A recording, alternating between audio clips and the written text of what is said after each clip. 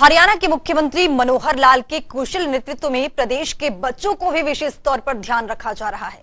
इसी कड़ी में हरियाणा राज्य 2021-22 का पहला उपराष्ट्रीय टीकाकरण कार्यक्रम की शुरुआत की गई, जिसमें 13 जिलों में तेरह लाख चालीस हज़ार बच्चों को पल्स पोलियो की दवा पिलाई गई, ताकि प्रदेश के बच्चे स्वस्थ और खुशहाल जीवन जी सके।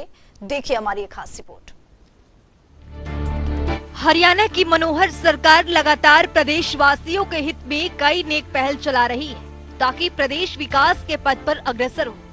इसी कड़ी में हरियाणा राज्य के तेरह जिलों में पल्स पोलियो 2021-22 का पहला उपराष्ट्रीय टीकाकरण कार्यक्रम की शुरुआत की गई। तो चलिए ग्राफिक्स के ज़रिए समझते हैं कि अब तक पल्स पोलियो की दवा कहाँ कहाँ और कितनी पिलाई पहला उपराष्ट्रीय टीकाकरण कार्यक्रम की शुरुआत। तेरह जिलों में पल्स पोलियो 2021-22 के पिलाई गई दवा। पाँच साल तक के बच्चों को पल्स पोलियो को पिलाई गई दवा।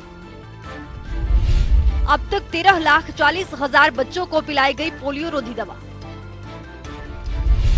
प्रदेश में पाँच साल से कम उम्र वाले बच्चों को मुफ़्त में पिलाई जा रही दवा।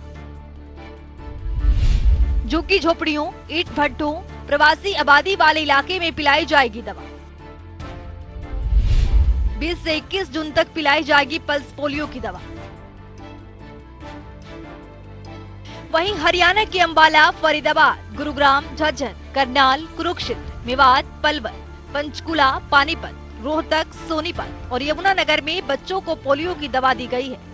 इस दौरान कोविड महामारी के वर्तमान परिदृश्य को देखते हुए सभी स्वास्थ्य अधिकारी और अग्रिम पंक्ति के कार्यकर्ताओं ने पूरी सावधानी के साथ काम किया है।